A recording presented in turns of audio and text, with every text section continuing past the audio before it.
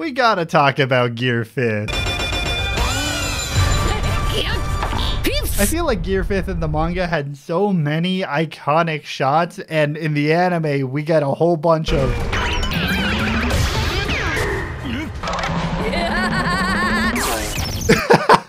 and also. But if I didn't talk about any of it, it would be messed up. So let me just start by talking about the audio, right? Let's start by talking about the drums of liberation. We start the scene off really slowly, and as we're introducing the drums, not only does the rhythm get faster, we are adding more complexity and more instruments. We're starting off really slow, and then we immediately start ramping it up. Like it makes a dramatic turn. I wish I was competent enough to explain music theory. It, it good. it's the best I could muster.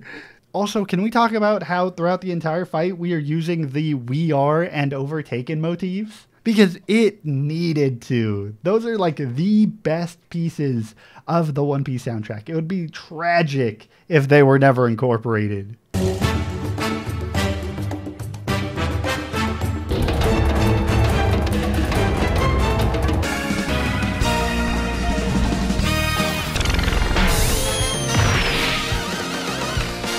I think the music sets such a good tone here. Like the character is laughing, clearly everything is supposed to be joyful and goofy right now. And not only the fight, but the entire atmosphere from this point on dramatically shifts in tone. We're no longer trying to be serious, this is goofy fun time.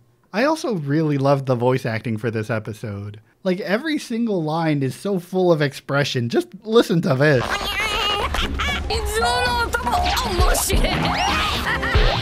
oh, and just seeing this guy fully losing it. Like, I love that we got to see him stand up and get into the rhythm of things. He's realizing, like, what's going on here? Why do I feel great all of a sudden? When he's going all out and he's going crazy, we at one point cut to Sanji, which I find really interesting. In Skypiea, there is a person who just woke up, all beat up. He goes outside once he starts hearing drums, and then he sees Luffy in this goofy pose, which is pretty similar to what happens with Sanji and Luffy.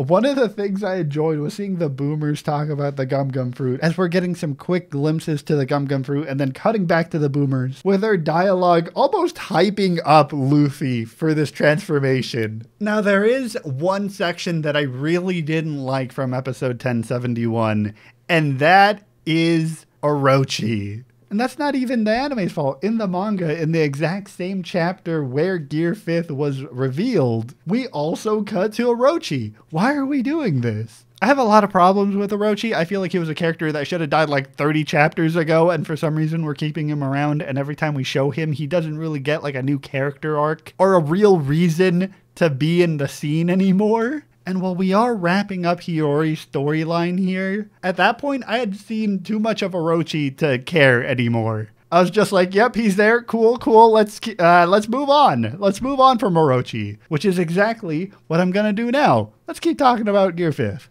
We also get a lot of reaction shots to this version of Luffy, which honestly, I think it's completely warranted. Like, if there was ever a reason for a reaction shot, this transformation would be it, especially when later on we see even goofier fight styles and get goofier reaction shots in accordance with that. Something that we also got in the manga. I do have some problems with the animation, which is that it is so experimental that it kind of damages the viewing experience. For example, here's a shot where Kaido shoots a fireball, Luffy sees it, he reacts by lifting the ground up and launching it back at Kaido.